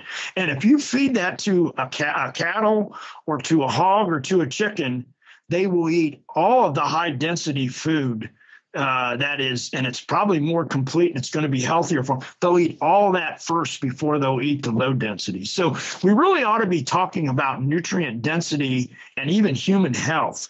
They're all related. A lot of these, you know, if you look over the last 40, 50 years, there's a much higher incidence. Uh, I happen to be diabetic. So, diabetic, autism, all these diseases, yes, yields have gone up in the United States, but with that has come less nutrient density. And some of this could be related to human health, some of the problems right. that we have with human health. Think about all the people with arthritis and all the aches and pains. Now, it is true we're living a little longer, but but uh, the quality of life in a lot of cases, uh, if you look at our bone density and some of the things that are going on, we're we're not as maybe healthy as as what we could be if we were eating better food. So I think it's all related. It's it's very interesting to study. I think there's a lot of new innovations out there, things that are we're starting to make these linkages together, and uh, uh, slowly but surely, the the other professions are starting to look at this. I mean, we all know good food when we eat it. You can you can taste the difference. I mean, and those are the flavonoids. And and our bodies, we're just like a in that sense, we're like a cow. If you give a person a bad uh, let's say a, a, a nutrient dense uh, tomato and one that's less nutrient dense. If you bite into the, the one that tastes good, you'll eat all that one first. And then if you're still hungry, you might go after the other one, but you'll say, man, this one just doesn't taste right. as good. You, we can sense the difference. We're just not quite as good at it as maybe the, the cow can smell it. We have to actually eat it or taste it before we're probably going to be able to tell the difference. You might be able to weigh it, but you know, yeah. There are new machines out there. I don't know if you've heard about this, but they have now come up with one that's probably going to hit the supermarkets here pretty soon. It costs a couple hundred dollars, but you can actually test your produce now to tell you how nutrient dense it is. So that's kind of a new innovation that's coming out that I think people will start to get into this nutrient density a little bit more. And that may have an influence on us and how we're going to be producing our produce in the future. So, does it really come down to then? I know there's no absolute answer to this, and I don't think anybody knows, but is a healthier plant just lacking photosynthesis? It's not photosynthesizing at its full potential. The nutrients, the minerals might be there in the soil. It just can't get access to them. Like, what's causing the plant to be healthier? And this goes back to that yield thing of 200 bushel corn yeah. versus 1100 bushel corn. What what yeah. could tip that limit? How do you get better photosynthesis? How do you get healthier plants? You got to have the microbes. And so it's all about that soil environment. When we start to till the soil, we get uh, imbalance of microbes. We're mainly bacteria, and not enough fungus. We want to have that balance. So the soil compaction, is going to have an impact. You're going to have more bacteria. So now you're going to have that imbalance. You're not going to have the right nutrients. And if you don't have the right nutrients, you might have the nutrients there, but it may be in the wrong form. And if it's not plant available, then we're going to limit photosynthesis. So it's all these things combined. You got to have the right soil environment. You got to have the right microbes. And then uh, a lot of times the nutrients are there, but they're in the wrong form. You got to have the right microbes to transform them into the right form so that they're plant available. And then that whole system then will add more carbon into your soil. Over time, you'll build up that carbon in your soil. Now you're at full production. But think about this if we overuse fungicides, we start overusing the chemicals. Glyphosate is one of those examples. So we know that glyphosate is a chelator. Okay, so it ties up a lot of micronutrients. Okay, especially uh, manganese and, and a couple other things. But um, one of the things that we're seeing on almost all of our soybeans and a lot of our corn is it's manganese deficient. Well, that's going to limit photosynthesis. Okay, and so uh, the theory used to be that uh, a lot of people would talk about the staves in a uh, in a, a, barrel, and they say whatever element is limiting, that's the one that's going to um, you know limit your photosynthesis, limit your yield. But what has happened over time is because we put on so many nutrients, sometimes we have an excess nutrient. So the, the barrel stave idea is the law of the minimum. Now we're starting to concentrate a little bit more on the law of the maximum. And what does the law of the maximum say? Every nutrient has an effect on other nutrients. So if you get too much of one nutrient, it can tie up some of the other nutrients. Okay. So maybe by actually cutting back, we, we tend to overapply nitrogen and phosphorus and even uh, uh, potash a lot or, or potassium. If we're overapplying them, we could be tying up some micronutrients. So maybe if we put on a little bit less of some of these and maybe we add a little bit of the other ones, but we also improve the biology, all of a sudden we get things back into balance and all of a sudden our barrel all of a sudden the staves are a little more even and we can hold more water in that barrel which means we're basically generating more yield. And maybe not only more yield but maybe more nutrient dense and healthier food at the same time. So it all works together. We got to understand it. That's why it's been it's been a little bit complicated. We haven't understood how the pieces all move together and how they all fit together. We're starting to get a little clearer understanding on what we need to do to make this system work better. So again, glyphosate, what it does is it creates conditions that chelate manganese. Manganese is used by the plant uh, to split the uh, water molecule uh, in half. And uh, if you don't have enough manganese, you're going to have um, uh, incomplete photosynthesis. Uh, glyphosate also causes more uh, fusarium in the soil. So now we're getting this disease organism there. One good way to overcome uh, glyphosate is actually oats. Oats does the exact opposite. It promotes uh, uh, manganese, makes manganese more plant available, and it reduces some of the fusarium in the soil. So we can use cover crops. I would suggest that, that people, we've really overused Roundup.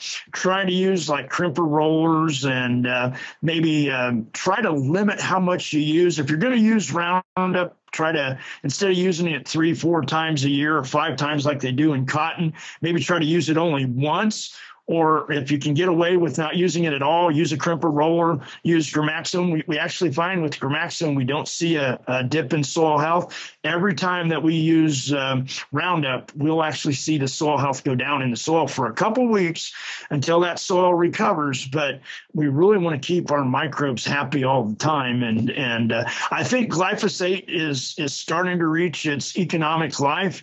There's a lot of lawsuits out there, and uh, we've overused it. And I, I think uh, over time, we're probably going to have less reliance on, on glyphosate just because of the economic forces now and, and the resistance to uh, the overuse of, of glyphosate. So we need to start thinking ahead of what are we going to use to replace that uh, glyphosate and uh, see yeah. if there isn't something else. I'm not saying we have to totally get rid of it. I'm just saying maybe we've overused it. Maybe we can cut back a little bit and we'll find out that maybe it, it actually improves our soil health a little bit more. So, yeah, I think one so of the it, it, also has an impact on phosphorus, right? But that's that that's pretty hard to talk about. I, I don't I know just enough to be dangerous on that, so I prefer not to talk about it. But it it can have an impact on that. I think one of the knocks on big ag is it's unsustainable.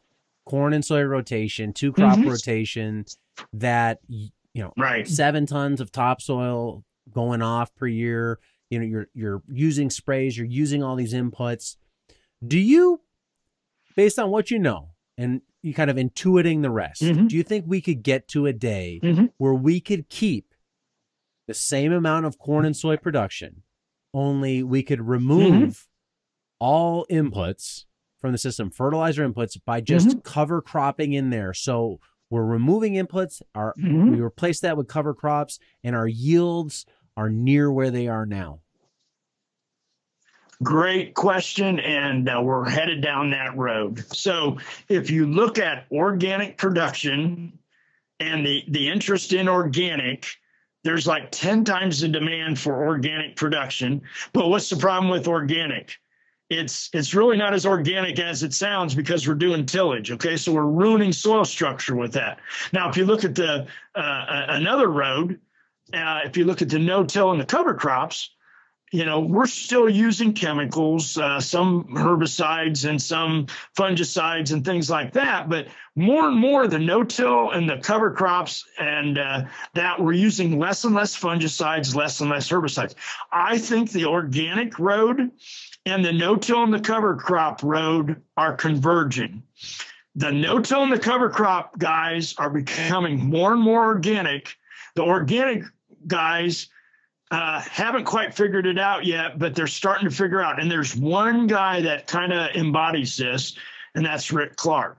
Rick Clark farms about 7,000 acres. He's long term no till, he's cover crops, and he's now organic. 7,000 acres, corn, soybeans, and wheat. And what he's doing is he he starts with maybe a hay crop, and then he'll you know he'll uh, uh, plant his corn into the hay.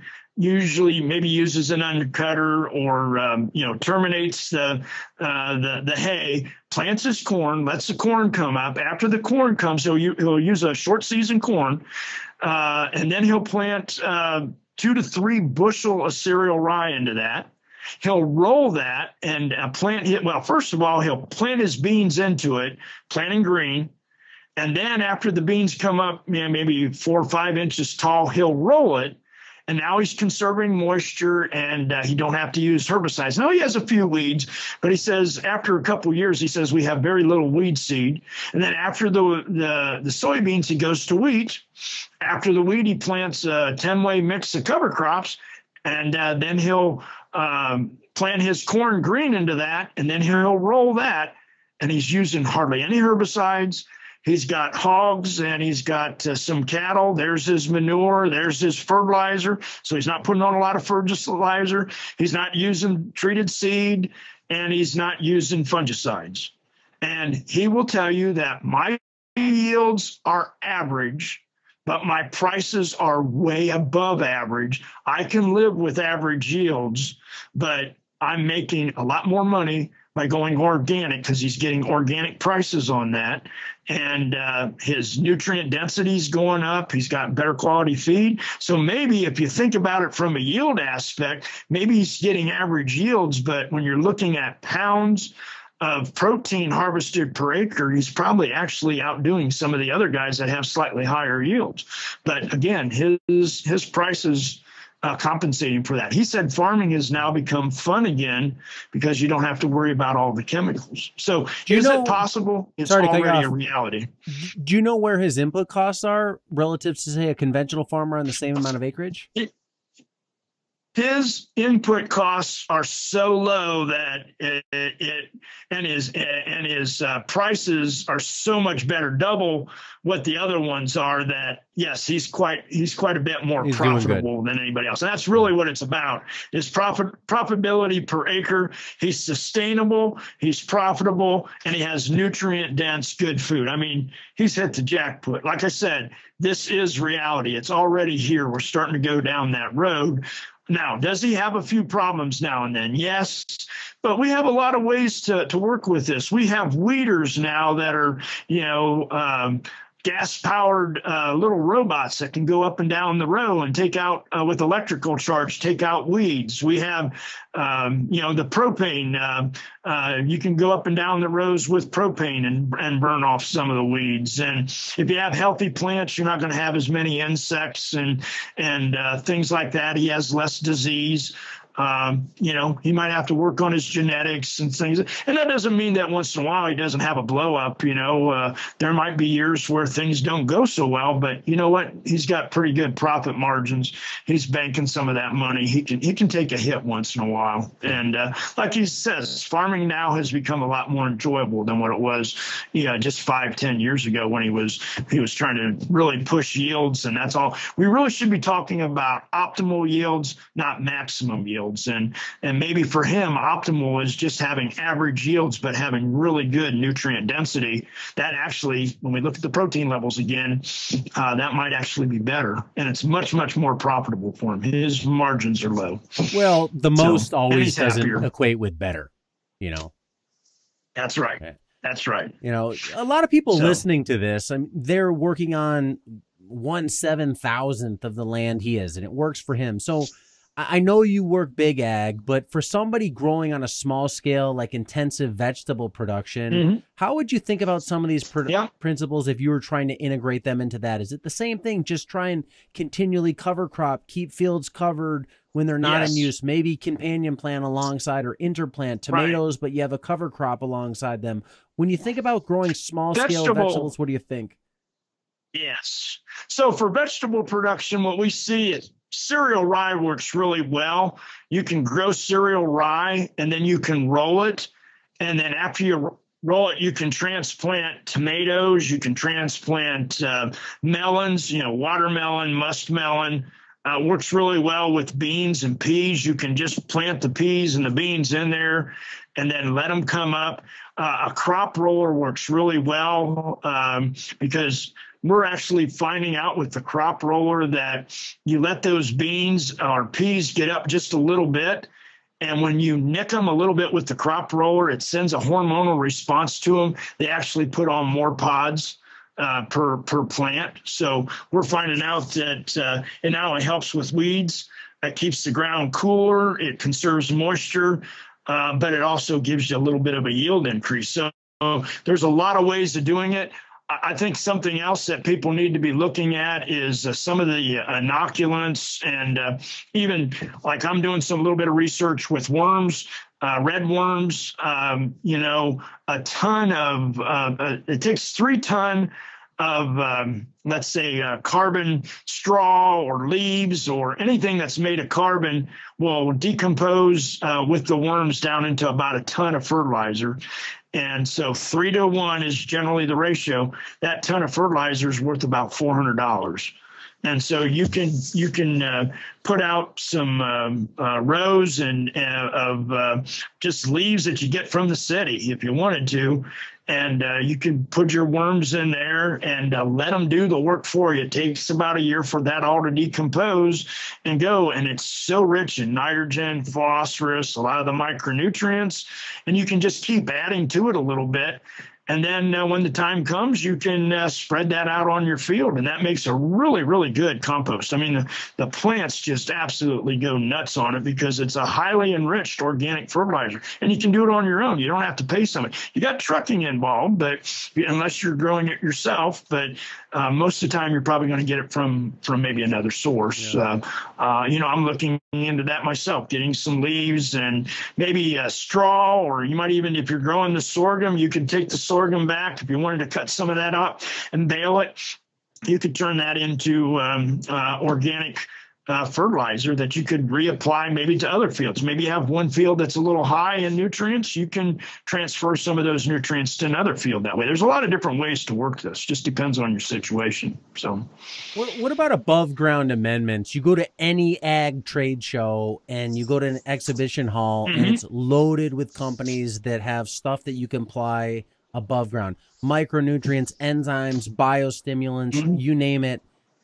Mm-hmm. Do you think that's I think people love that stuff because it seems like a quick fix. It's easy. I can buy it. I can put it on, and I yeah. feel like I did something. Where do you feel like that's a down the line approach? You look at that stuff after, you know, you've minimized tillage, after you got a continual cover over the soil, right. after you have a living root, then look at that stuff. You, I, I would agree with you. you. If you're just going to put it on the first year, if you still have compaction, if you don't have the right soil environment, you're probably wasting your money. You've got to make the first investment. You need to at least start to heal your soil a little bit because if you have anaerobic conditions out there, saturated soils, compacted soils, that's not the ideal environment for a lot of these aerobic type of bacteria, fungi, and whatnot. Uh, so, um, probably the best thing is at least get into it a year or two, and then you can start to experiment with with uh, some of the uh, the microbes. But you got to start to heal your soil compaction. You know, the first thing I tell everybody, at least here in the Midwest, now this isn't going to apply everywhere, but uh, first thing you need to do is make sure you got good drainage. If you don't have the tile, we need to have a, a, a soil. If it's saturated and you got standing water, about the only thing that, you know, at least here we can't even grow rice, so we're too far north, but you, you, you can't have saturated soil. So you got to have an outlet for your water. Once you get your soil in shape, if you're going to land level it or do, do all that that first, soil test it, see where you're at, and then start growing, you know, try to get wheat in the rotation. And after wheat, put in multi-species cover crops. That will do a lot to healing your soil. If you're going to do grazing or something or other, that's fine. Go on some of those fields, maybe rotate it out, and then start your no-till. And then uh, maybe do some testing, figure out what you're lacking. And that's our biggest problem right now. We don't know for example, on mycorrhizae, there's like 250 species of mycorrhizae. Our problem right now is we don't really know what we have and we don't know what we need.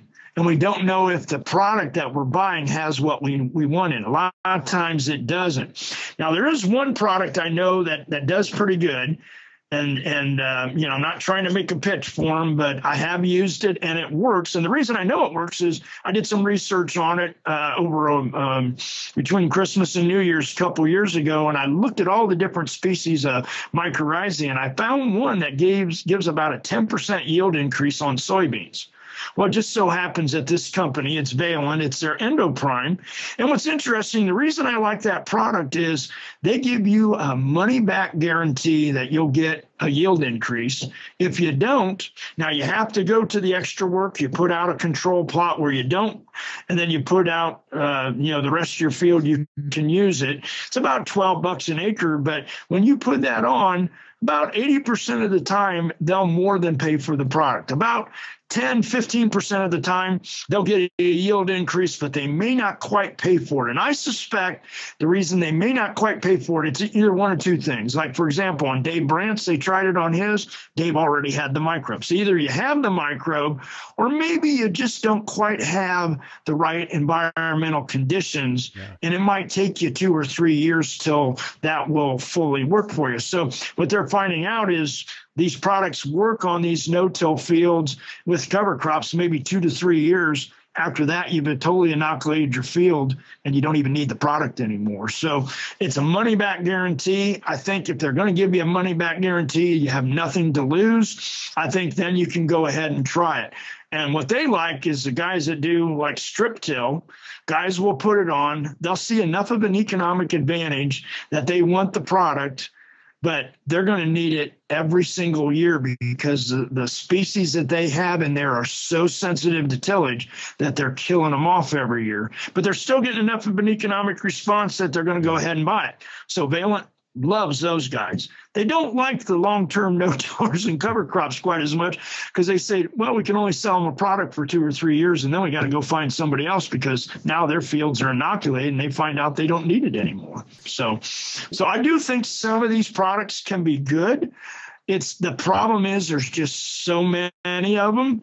And, uh, you know, unless you do the trials, a lot of times they're not so good at telling you what's in their product and you have to do the research on your own. So it's it's I mean I pull my hair out trying to figure out and I can read the label and unless they give me the species name I really don't know what I'm buying until I try it. And even then I may not know I, you know unless you got a lot of money and you want to have it tested and, and that can be very expensive. Sure. So um you know it's it's a it's like the wild wild west right now you know, with inoculants it really is but you know a couple things you can do is some of these inoculants you can do yourself. You can make them yourself. So I'll give you an example. A couple years ago, um, I went out and I really was researching mycorrhizae. So I found out that there was a recipe for making your own mycorrhizae. I went out and got eight virgin soils, brought back about a barrel of each, mixed them all up, and then put them in this medium. I had a, about a, a 16 foot by a 12 foot area that I, I made my own little mixture, put this in there and started growing my own mycorrhizae and then growing, you know, like oats and sorghum sudan and some vegetables in there. After about two, three years, I got the inoculant level pretty high and then you can broadcast that on your own fields. Now you can't sell it because in order to sell it, you'd have to sterilize it, and that kind of defeats the purpose. But you can do this on your own. You can do that. The other thing you can do is with the worms, there's what we call uh, David Johnson is doing the static compost, and he's finding out that uh, you know he, he's doing that and getting really good levels of healthy bacteria and different fungi in the soil, not the mycorrhizae, but other fungi, and getting really good results with that. So I actually think that maybe rather than buying a lot of these things, maybe we ought to be looking at trying to grow things on our own. Uh, I totally but now agree companies don't like that. But yeah, yeah it's yeah, a lot easier. I mean, I shouldn't say it's easier. It's actually a little more hard. There's a lot of labor involved, but but if you have a low budget, uh, you can do these things on your own. I'm, I'm experimenting with uh, worm compost right now and uh, doing some things, and they are finding out. I think these uh, worms are just little inoculators. They've got all these different species of bacteria that they're inoculating the compost with, and it's not only you know as I look at my worm piles, I'm not only finding uh, worms. Guess what else? there's all kinds of pill bugs and spiders and every critter imaginable. matter of fact, the other day I was putting a little extra water on my compost pile and out jumped a real little baby possum. And, you know, most people would have said, well, let's just compost the possum. But I'll tell you what, I let him go. I put a board in there so he could get out. Why did I do that? Because possums are very good at eating ticks. And I have a lot of deer ticks around my farm. And uh, I'm, I thought, you know what, I'm going to let that little sucker go because hopefully he's going to eat up the deer ticks. And I don't, I don't really like to be pulling off ticks all the time. So, so you know, we got to learn to live with Mother Nature. Sure thing. Yeah. No, I, I love a lot of the suggestions, insight you've brought in this episode. Is there anything you'd like to leave the listener or viewer with? Some final words to say, hey, if you're out there farming, give this a try or do this mm-hmm. or, or anything else. Well, there's there's one thing that I, I, found interesting. I probably should have added it on the other one, but well, uh, I, you know, on nitrogen, we know that compacted soils uh, hurts us with denitrification. Okay, we're losing 60 to 80 percent of our nitrogen from the soil from uh, in the Midwest from uh, denitrification. Okay, saturated soils. When we get those soils, they warm up. Uh, we can lose 60 to 80% of our nitrogen. That really hurts us on corn. Well, you know, I got to thinking about that and I was doing some research. And uh, does compaction have an impact on phosphorus? Does it have an impact on potassium? Well, I, I got to looking at it and I've done some research on phosphorus, and we're finding out that under saturated soil conditions, phosphorus becomes more soluble and it flows with the water under very saturated soil conditions. And that's due to the fact that uh, a lot of soils are high in iron, and under saturated soil conditions, iron releases phosphorus. So let's think about this for a minute. As your organic matter levels go down, you have to use aluminum, iron, and calcium to tie up your phosphorus. Uh, one of the reasons that we have a lot of water quality problems in the Midwest and around the world is because we've lost a lot of the organic matter from our soils. The other thing that's happened is in the uh, 1980s, we started uh, the Clean Air Act. And what happened? We used to talk about acid rain. Nobody talks about acid rain anymore, but the pH of the water coming down was about four and a quarter. And over time, we've cleaned that up and it went to five and a quarter. And now it's at six and a quarter. Well, guess what?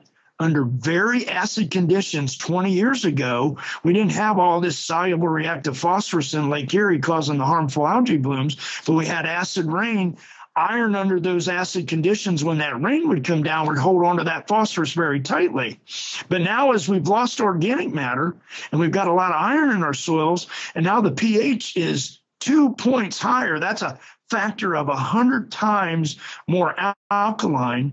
That means the iron is holding on to that phosphorus less tightly and it, it's being lost. Well, what's that got to do with soil health? Factor is we don't have the organic matter, and a lot of people here are doing the vertical tillage. So what happens now is we got a compacted layer about an inch, two inches deep. When it rains, all the phosphorus is at the surface, and now it's either going to go right down a crack to our tile line, or it's going to flow off right into our soil. If we had the organic matter in a cover crop, we would get that to go down into the soil, and then the roots would take it up. What do roots absorb? Soluble nitrogen, soluble phosphorus. So now we see a relationship between soil compaction on nitrogen and phosphorus. Hmm. Do you think there might be a relationship to potash or potassium? Interesting thing. We've done some research in Ohio. Steve Culman, last three years, we updated our um, uh, fertility guide, and they were looking at uh, potassium. They said something strange is going on with potassium. We don't understand it. The last three years, they went out and they soil tested and they had let's just say a, a, level of potassium and then they would fertilize it and then they would test the soil again. So let's say you put on, uh, you know, 100, 200 pounds of, of uh, uh, potassium fertilizer. What would you expect the soil test to do? Should it go up? Should it stay the same or should it go down? Should go up, right? Every time it went down. They said, What's going on here? And uh, I just happened uh, when Steve was talking about this, I was sitting in the back row. So I went up afterwards and I said, Steve, I said, uh, Did you apply that in the fall? Yes. I said, Did you broadcast that? Well, yeah, Jim, you know, that's typically how we put on potassium. And I said, uh, Did you vertical till it in? And he said, Yeah. I said, Well, you know that under saturated soil conditions, when you vertical till that, and we've had three wet uh, falls in a row, what happened is you get potassium induction. And he said, What's potassium induction? Well, with our clay soil particles, what happens is potassium is a very small ion, and under compacted, saturated soil conditions, the clay opens up, it swallows up the potassium. That's why when they would soil test, and after they broadcast it and they would work it into the ground and the soil was saturated a little bit, it would tie up the potassium and would make the potassium unavailable. I went back and looked at a lot of our soil tests. And in very dry years, when uh, we have more oxidation, we would find pretty good levels of potassium. I looked at a soil test that was taken three years later on these same fields, and it dropped by almost 200%. I mean, it went down that much just because we've had saturated soils, it's tying up our potassium. And again, that goes back to the compaction and the lack of soil health. And once you get your soil in good shape and you have soil health, you're going to have better nutrient availability. You're going to have healthier crops, more nutrient dense, and everything's going to work a little bit better. You're going to make more money because you're going to have less input. So, trying to get there, though, that's the hard part. And uh, again, I would probably just tell people you got to start. You can't wait. Uh, don't uh, don't wait too long uh, because it's not going to get any better. It's it's only going to get worse unless you take an active interest in it. Try to keep live roots out there year round as much as you can. And if people want to learn more about the work you're doing, where can they go?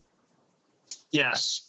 So let me tell you a little bit about myself. So I worked for Ohio State University for 24 years. I'm retired from there. Okay. Then I worked for the uh, Natural Resource Conservation Service for three years as a soil health specialist. I uh, more or less quit that job. And now I have my own company. It's called Hoorman Soil Health Services. I'm working on a number of grants. I do consulting. Uh, I sell some cover crop seed. Uh, I also sell some uh, crimper rollers. I'm getting into that a little bit and uh, doing a lot of different things. So uh, if you want to get a hold of me, uh, go to Hoorman Soil Health Services. That's S E R V I C E S, all, all one word, Hoorman Soil Health Services at gmail.com. That's my email. And if you want to go to my website, it's Hoorman Soil Health com. And uh, if you go there, I've got all kinds of resources on a lot of fact sheets that I've written over the years, voles and slugs and uh, biology of soil compaction, have a lot of different uh, PowerPoints. And I am also available to speak. Uh, uh, uh, I am available to, to, to, help farmers and anybody who wants in these COVID times, it's been a little bit uh, difficult. Sure. Uh, we're doing more webinars and uh, staying home a little bit more. So, hi, everybody. Thanks for watching. Subscribe here to get the latest from the show. Also, be sure to check out some of the great clips and watch the full interviews right here on In Search of Soil.